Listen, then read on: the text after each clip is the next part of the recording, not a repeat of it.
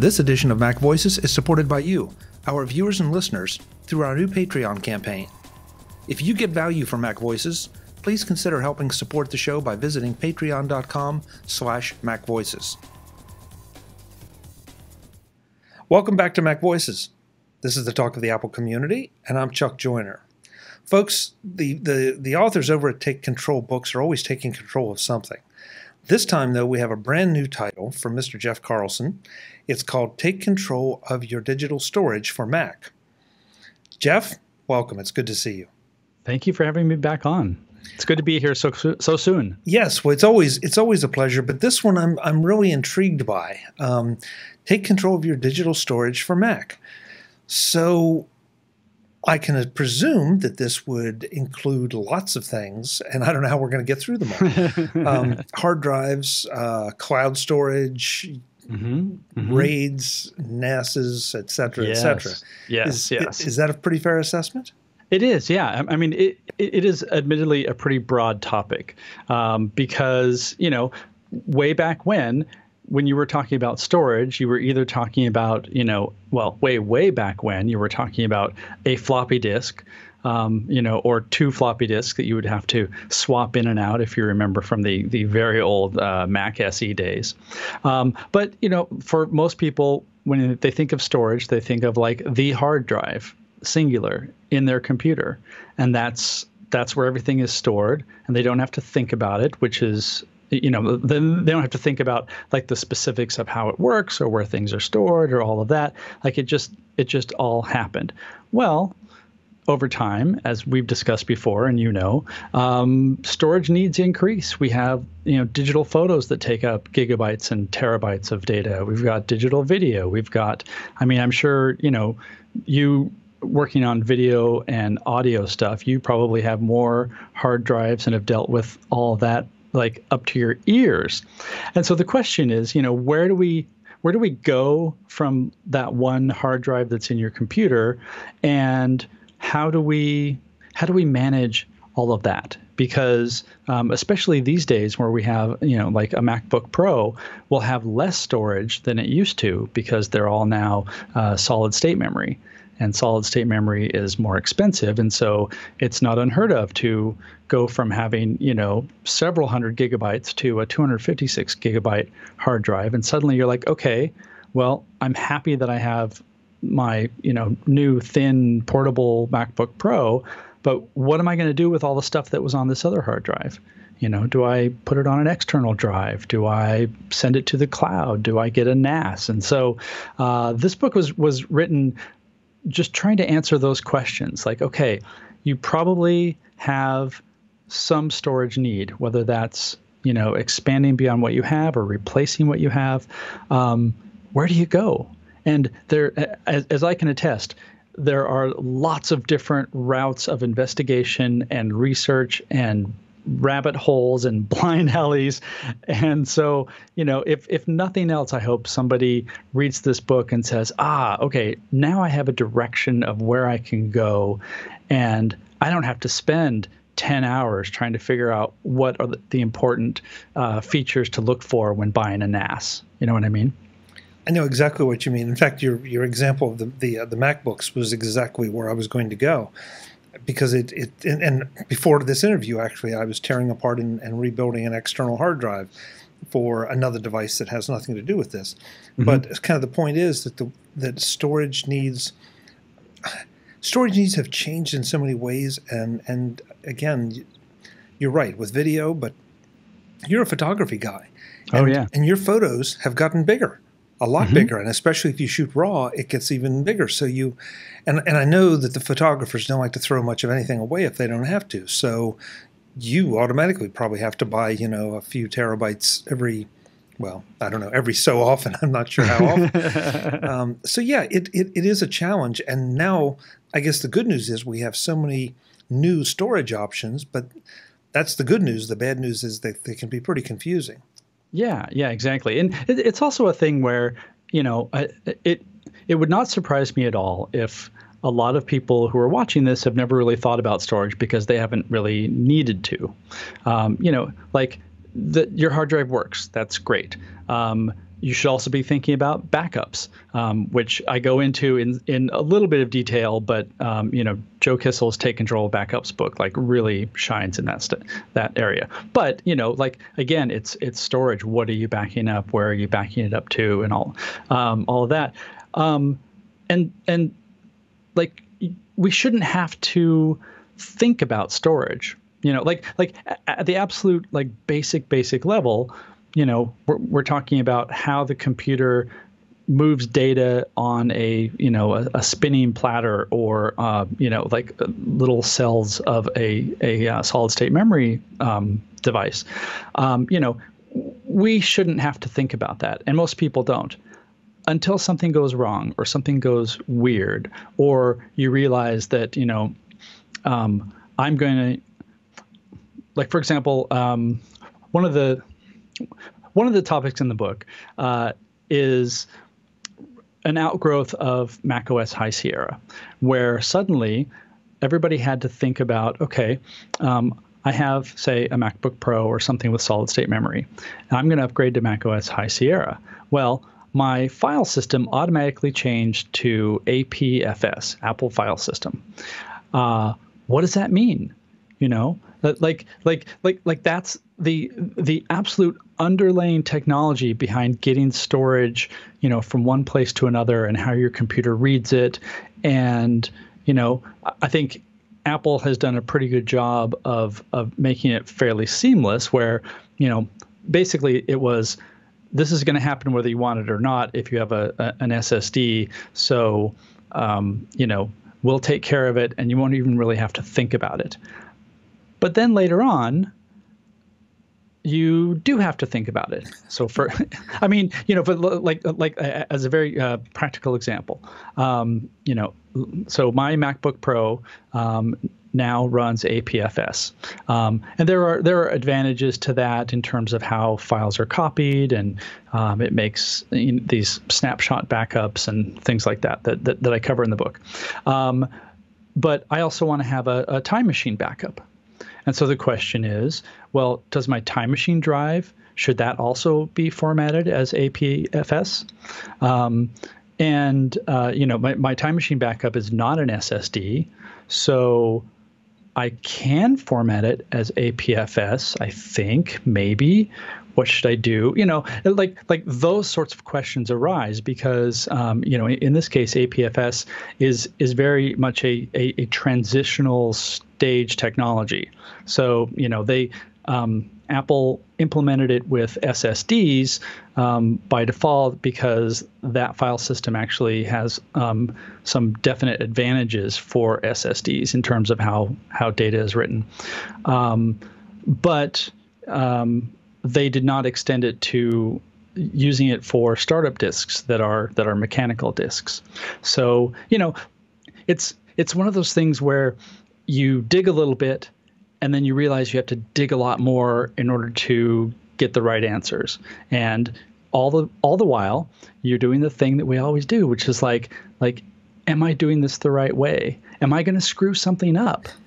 You know? Yeah. like like like it, it, if i format this as apfs uh, down the line when i need to you know need to pull off some files from my backup is it going to be like oh sorry it didn't really work and you know tough for you. So things like that that um, you know a big reason that that that uh, take control and I excuse me did this in the first place was um, a lot of reader reader questions, reader feedback, sort of asking you know just these questions, and so you know Joe Kissell he was like, hey, we need to do this book, and I was like, hey, let's do this book, and so now here it is.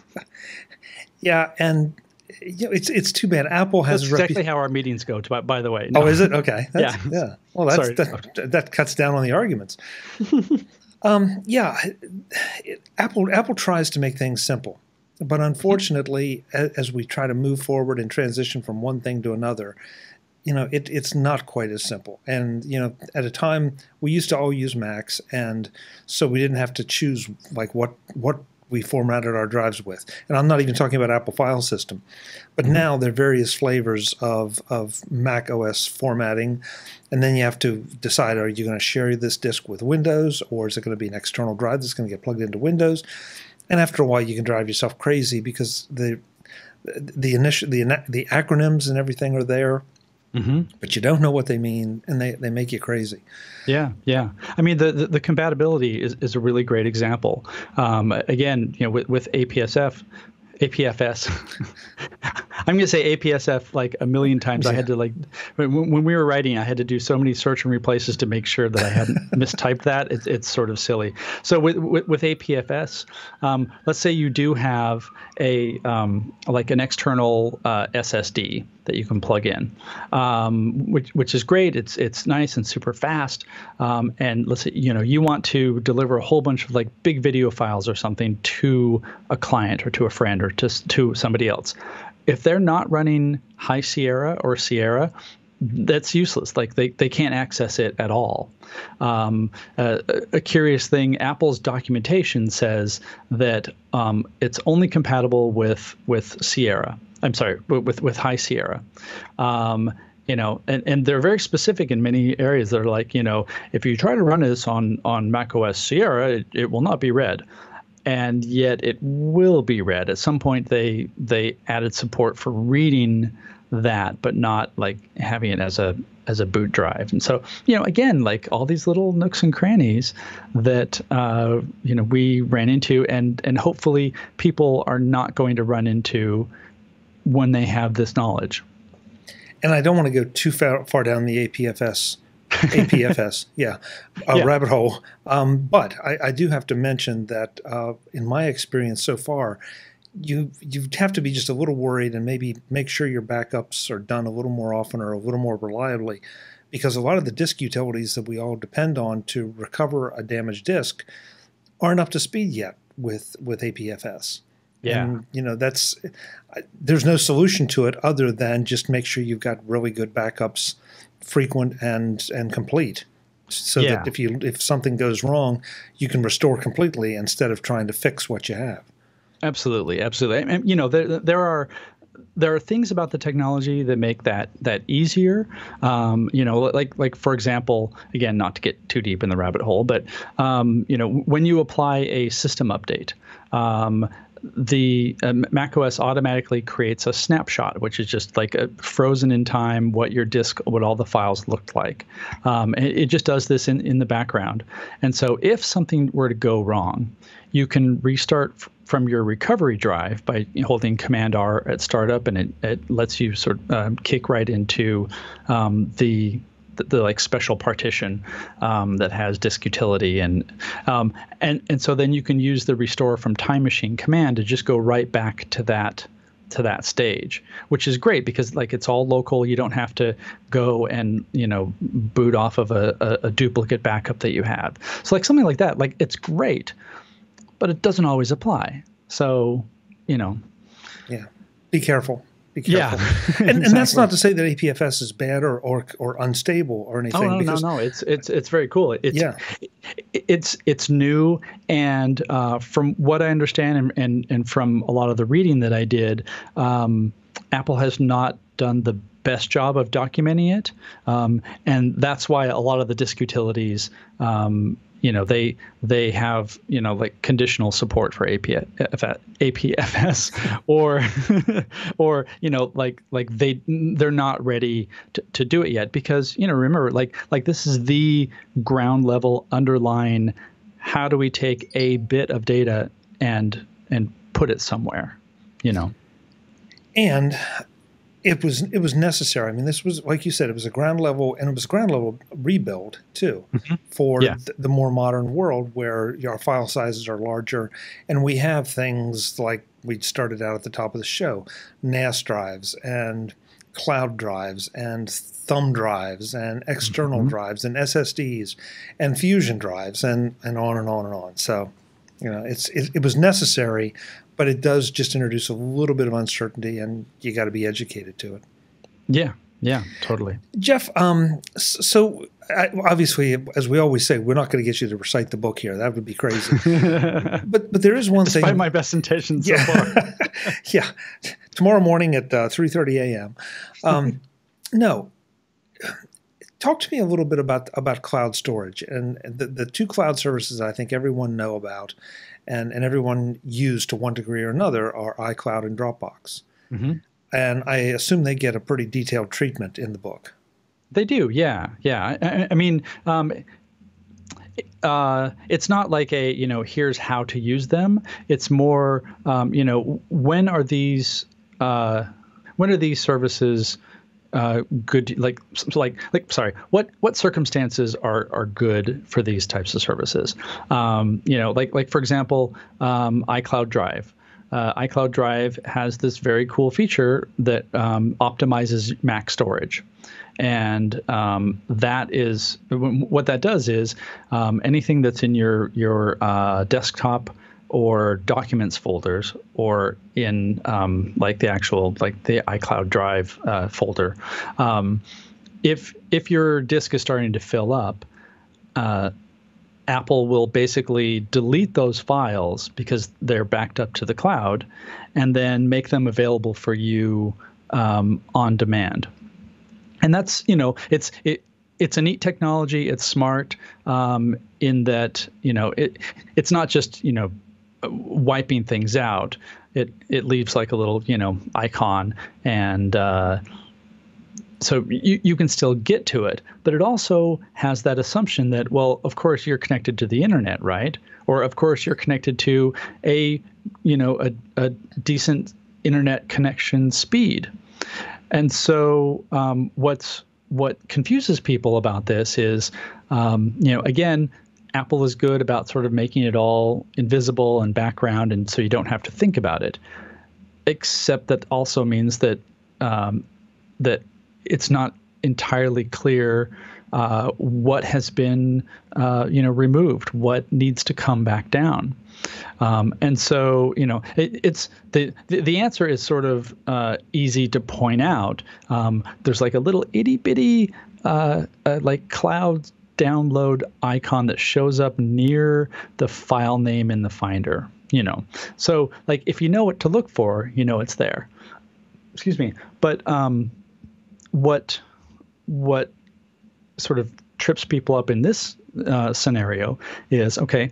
What if you take your computer and you go off of your internet connection at home? What if you're traveling? What if you are at a hotel where you know the hotel Wi-Fi is there in name only, but is you know really terrible Wi-Fi as most hotels are? Um, you know, then that that file that you thought you had access to is suddenly gone. And then what do you do? How do you make sure that that's there? So you know um, there's there's that. Um, uh, I also cover like like using selective sync uh, in Dropbox which um, you know I don't know. I, have been using it for a long time because I I do a lot in Dropbox. Um, but you know, th- there's a lot in my Dropbox folder that I don't really use on a regular basis. I don't really need, but I like having it there. Um, you know, like a lot of old archived um, work stuff, um, and you know, like you don't necessarily need that on your drive all the time. And so there's an option to say selective sync, which is which is uh, you know only only sync these folders, like these folders that I'm actively using. Um, to give you an example, um, because I've I've worked with Joe Kissell um, on several books um, back like in the early days of Take Control. I edited several of his books, and so um, his Take Control uh, Dropbox folder is shared with me. Okay. Well, you know how many books Joe has written. It's it's absurd. Yeah. And and so if I didn't use selective sync, like I would have all those files on my hard drive, you know, projects that I have nothing to do with. Um, you know, that I, you know, good for you, Joe, but I don't care that you're writing about this particular topic, you know. And so, so using selective sync, I can just say, you know, um, the the take control Joe folder. I don't need that, so um, you know, just just hide that from me. that also introduces a complication, um, which is okay. So let's say um, I do selectively sync just a few folders, and that that means then that that data that I've chosen not to include on my hard drive is just up at Dropbox. But that sets off all sorts of alarm bells in my head, which means wait, there's only one copy of this data somewhere. And you know my, my my time machine backups won't get it because it's not coming down. Um, you know, like I would have to, you know, make an effort to manually, uh, you know, back them up, archive them on another drive. So what do you do then? in my case, um, I have a couple of options. Like I have an old Mac Mini that's just a you know a file server in the house. It's got music and stuff on it. Um, so I have Dropbox set up there, and and it's just set to to grab everything. Uh, except for Joe's folder. Sorry, Joe. Um, and so, uh, you know, so so that way, I I actually do have that that in the event that Dropbox, you know, suddenly uh, goes out of business or they suffer some, you know, unlikely massive data uh, breach, you know, whatever. Um, but it's not something that you immediately think about because you're like, oh, here's my file. My file's over here. Everything's good until it's not. Go back to Dropbox for a second, um, yeah. or, or the, the selective sync concept. Yeah. As far as I know, and honestly, I haven't checked this out recently, the, the way that you could do the selective sync concept for the individual user, you had to go into the preferences and you had to check off, you know, in which what you wanted to where. The business yeah. accounts now, and I don't think this is rolled out to individuals, but the business mm. accounts have really taken that that whole concept and improved it a lot because now I can just go down and and in the finder, you know, right click on a folder and say, you know, don't sync this and it will ah. disappear from my no scratch that the files will disappear you know but they're in, in their place are like you said about the icloud drive they're basically placeholders aliases if you will click it and as long as you're on an internet connection it comes right back down and i'm hoping they will do that for the individual users because it's it's very cool it's very well done and it's something i wish apple would do that the, the whole smart management thing is great but I'd like to be the one to decide what it's yeah. managing and what it isn't. And and I know you know 98 percent of the time it's going to be fine, but it's mm-hmm. that two percent that worries me. Exactly, exactly, and you know you also have no control over over what is being uh, removed, um, and in fact, uh, it's it's a little bit confusing unless you dig into it, um, because for example, if you have a folder let's say in your documents folder. Um, if you have a folder and it shows up with the little iCloud icon that says that that it's um, that there are files that can be downloaded from iCloud that are not on on the drive. Well, I look at that and I'm like, oh, so it deleted that the contents of that whole folder um, to make room. Okay, fine. Well, that's not the case. If you open up the folder, you'll see like if you have just one file that has been removed for space reasons, it it flags it with that with that cloud icon. You know, so like it's a little misleading there.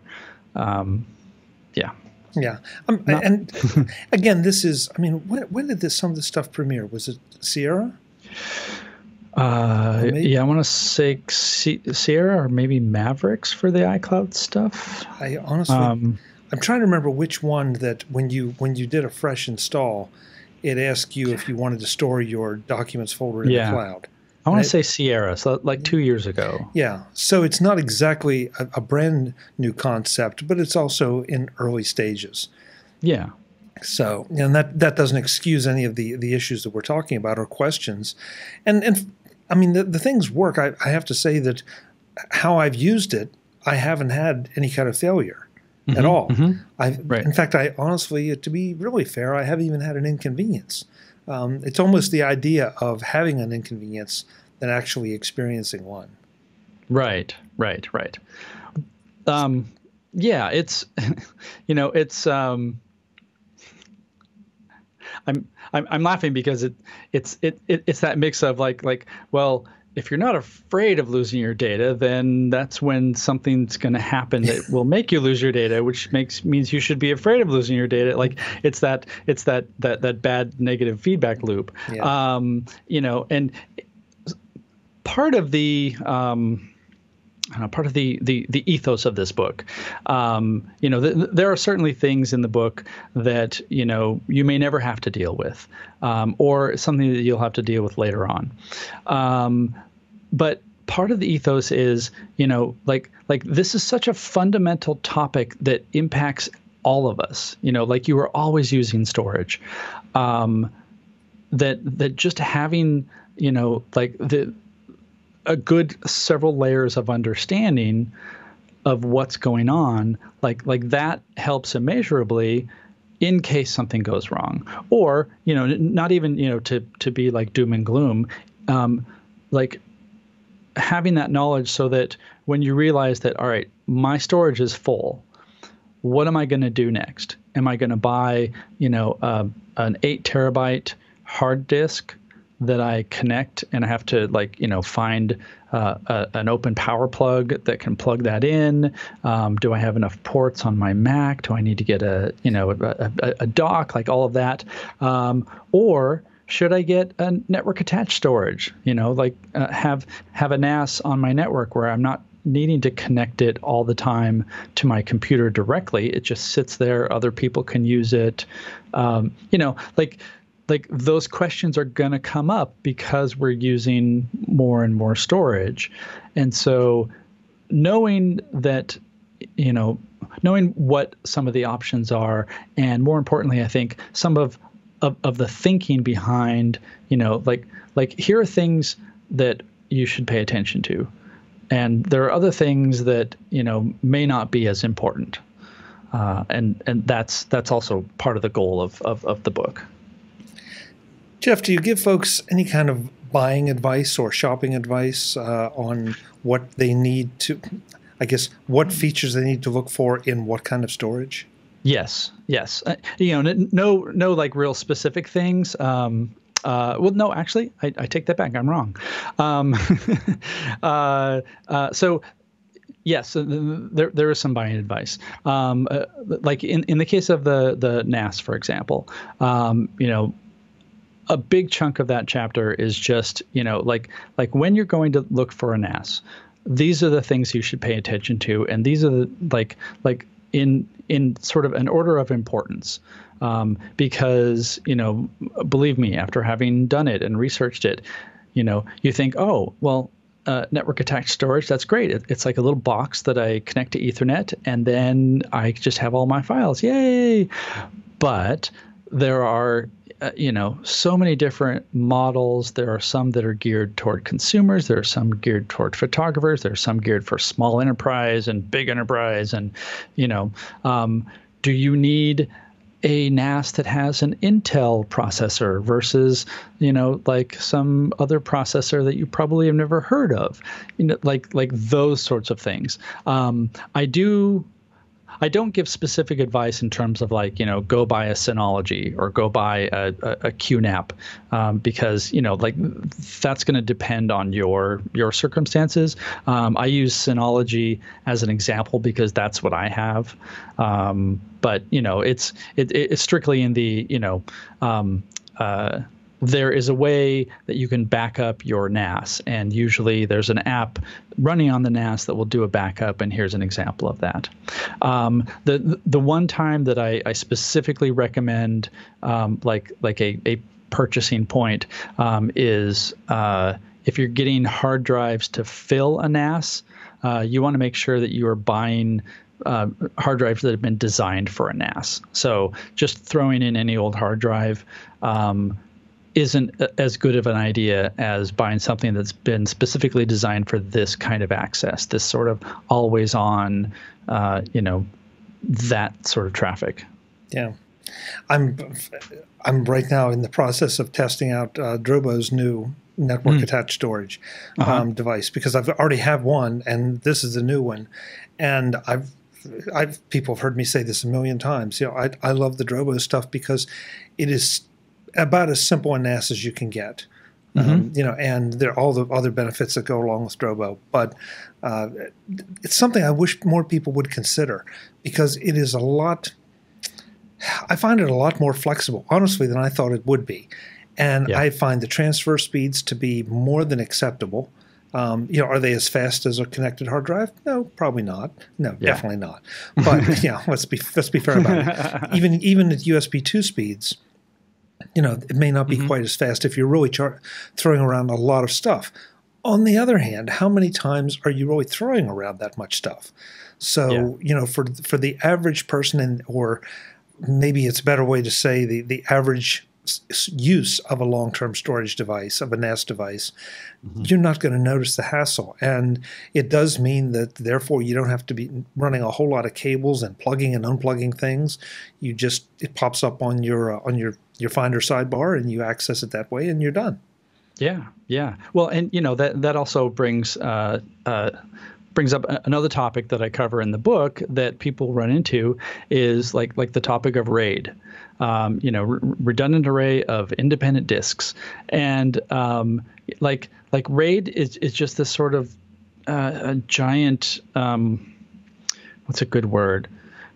It's it, it's like the boogeyman of hard disks because because there are some people who are like, oh well, you need a RAID because it it you know um, you put together a whole bunch of disks and you get this this you know larger amount of storage and it's great.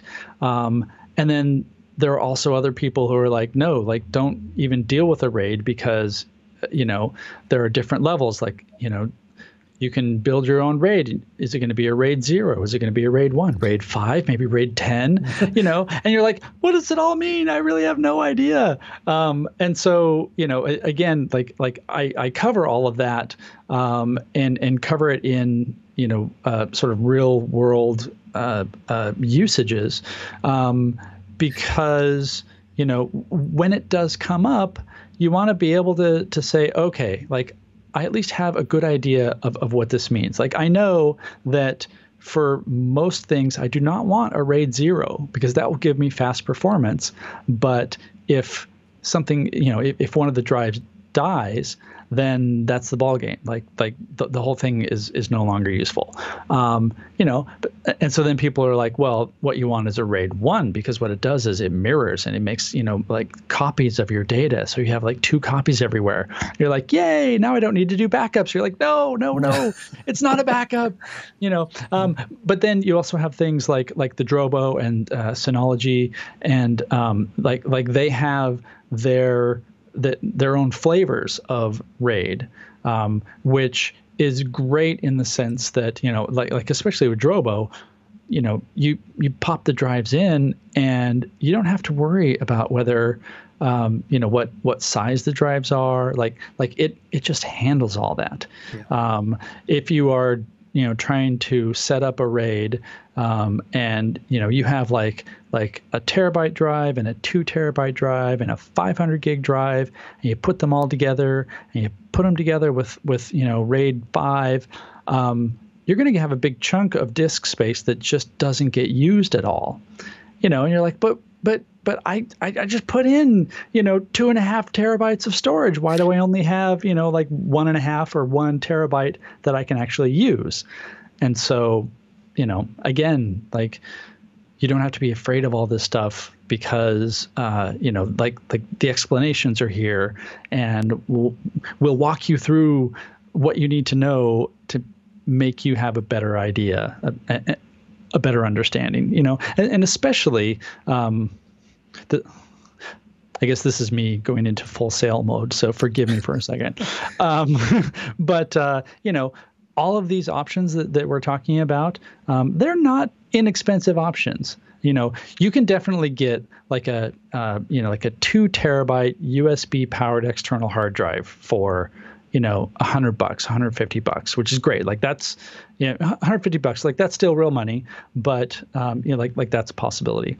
But, you know, you start talking about a, a NAS, you start putting together RAID arrays, um, you know, like, like that's, that's a, a serious investment, even, you know, on, on a small scale. And of course it can go much higher and much, much more expensive.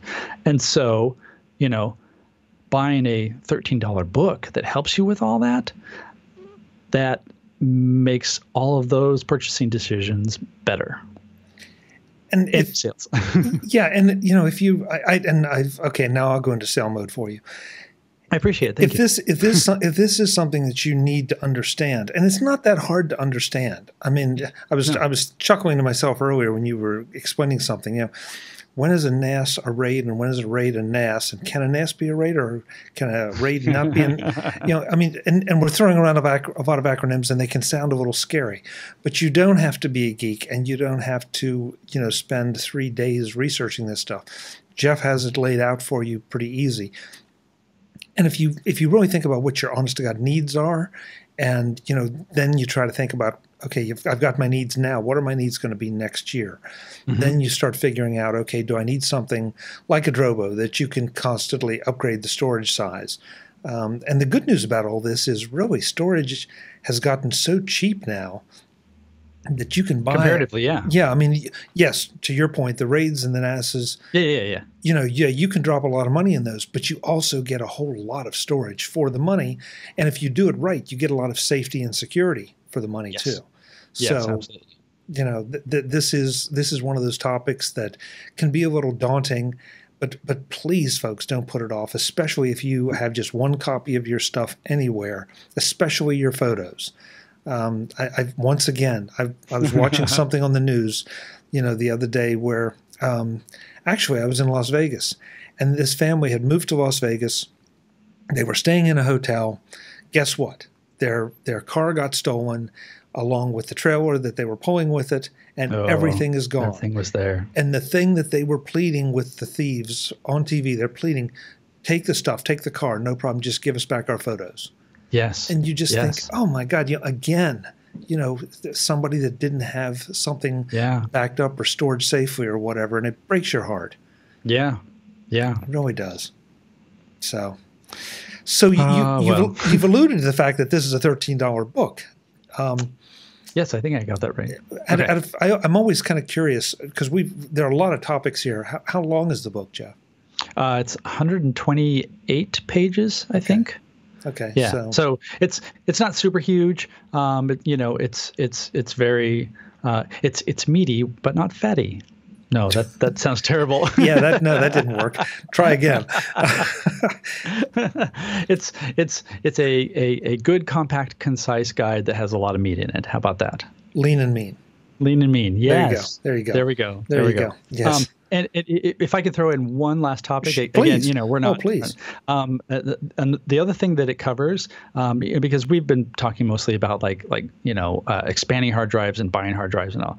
Um, there's also a huge section in the book that just talks about disk utility, um, the the the disk utility application that is you know like the essential troubleshooting um, disk tool uh, on the Mac. Um, and so, you know, it talks about, uh, you know, w- what is disk utility actually doing when it's running and looking for errors? How do you, uh, you know, how do you uh, scan and, and, and repair a startup disk?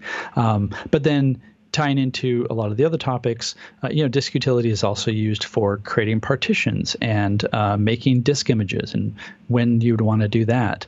Um, and, you know, again, like going back to APSF, um, the way partitions and volumes work is very different. So it, it, if you have been, you know, um, taking your your hard drive, let's say you have a terabyte hard drive, and in the past you've been splitting that into like two 500 gig partitions for whatever reason. Maybe you you know you have like work uh, documents in one partition and and home documents in the other, and you, just want that sort of that that barrier between them. Um, with APSF, uh, you can do partitions, but there's actually a better way of of um, the way that that AP APFS, uh, the way the new file system uh, uh, handles volumes, for example, like you don't need to do partitions anymore. You can just create a volume, and and that volume will will shrink or grow as needed. If you've ever like you know run into the situation where you had made a partition and your partition got full, and you then had to like repartition your hard drive, um, you know typically under HFS Plus, the the the sort of um, file system standard that Apple's used for you know, decades, really. Um, uh, you know, you would have to basically like wipe it and start over and and then reload your data back on. Um, and so with with APFS, you don't have to do that, but people might not know that. So it's it's you know covers that that that sort of stuff too because disk utility is such an essential uh, uh, utility uh, for working with storage. Yeah, I'm glad you brought that up, and and I'm going to save us both a couple emails, um, and I don't think it'll detract from the book sales. Okay. But differentiate between a volume and a partition. What what do you mean by that? If I'm if I'm talking about one physical mm-hmm. device, what's the difference? Yeah, yeah. Um, actually, I'm going to do like a little extra plug for my book because. Okay. I came up with a really good metaphor for for for, for describing this, um, and uh, that it's too long to go into here. But basically, um, so think of a, a partition as basically like like a brick wall. So you have a a warehouse, and um, your warehouse is is big, and you want to split it into two pieces. Okay, um, under uh, macOS Extended, uh, sorry HFS Plus, it's it's called both. Um, what you would do is you would build like a wood or brick wall between the in the middle of, of the warehouse. So you have like two different areas. Um, and then, you know, you could store stuff in both areas. And when one gets full and you need to add more to that area, um, in order to to make that partition bigger, you'd have to destroy the wall, rebuild it somewhere else, and you know start over that way. Um, under APFS, um, instead of thinking of a wall, um, basically think of the the warehouse itself is a partition. Okay, it's it's treated um, it it's actually called a container, but it's it's treated like a partition. So so it's like one one thing. And you want to split that into two separate sections. Well, rather than building a wall, you're just going to put some tape, some of that, you know, really cool uh, yellow and black, uh, you know, warning tape that you know you, you see in like you know, airplane uh, construction zones and things. Um, and so so you put tape down the middle, and and so everybody knows like this this side is for one task, the other side is for the other task, and then the first task uh, starts getting full, that whole area gets full. Well, instead of uh, you know having to tear down a wall, all you do is you pull up the tape and you just put it down, giving yourself some more room. And it will just do that dynamically. So if if one side needs an extra 100 gigs of space, then it just takes it from the other side. But there's nothing that you have to do. It all happens in the background. All you need to know is you have enough space for that volume and the other volume will just adapt. And you can add and, and remove volumes at will without having to, um, you know, go through the whole process of format reformatting the disk and, and all of that. Got it. Does that help? Yeah, yeah, I think okay. so.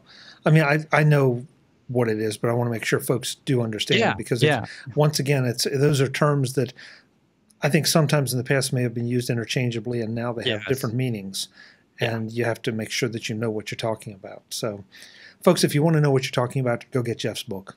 Period. TakeControlBooks.com is is where you can find it. It's thirteen dollars, and the author is Mr. Jeff Carlson. That's Jeff, me. Thank you, thank you. This this was good. This was fun. Thanks for having me on. Yeah, yeah. We'll do it again. Okay, let's do it. When's the next book? Uh, tomorrow. Okay. No.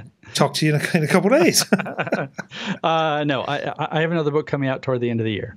Oh, great. Okay. Well, then, yeah. And we'll talk Not to you control that. book, a different book. Okay. Good. Well, we'll talk to you about that. Um, in the meantime, if while in between books, where can folks find you? Uh, go to jeffcarlson.com. Uh, that's sort of the the central place. But I would also, if I can throw in a plug, um, I have started a new podcast with Kirk McElhearn. Um, oh, which of course we talked about on your show. You did. Uh, sorry, uh, Photo Active. So it's it's photoactive.co uh, is the website, and uh, we are basically talking about photo uh, photography topics um, with a bit of an Apple um, an Apple slant, um, mostly in the sense that we're not hung up on gear and pixel peeping and uh, a lot of uh, sort of photography rabbit holes that that a lot of other people get preoccupied with. Like we want to talk about making photos and enjoying photos and and and that. And so uh, uh, yeah, so that's photoactive.co. It's been great fun. And I have to say, I've I've really been enjoying it because I've it feels like a, a photography uh, podcast for someone at my level, and maybe just a little a little higher. And that's that's exactly where I want to be. I kind of want to know what's going on and, and and be able to understand it, but I also want you to challenge me and teach me a few things. And so far, it's been the the, the episode on on JPEG versus RAW was excellent. Oh, so, good, good. Yeah, Thank please, folks, go check it out. Go check it out. Jeff, we'll talk to you soon. I look forward to it. Thanks, All right, Chuck. take care. Folks, I'm Chuck Joiner. This is Mac Voices. I hope we talk to you soon as well. Um, if you have questions, comments, please drop me an email, chuck at macvoices.com.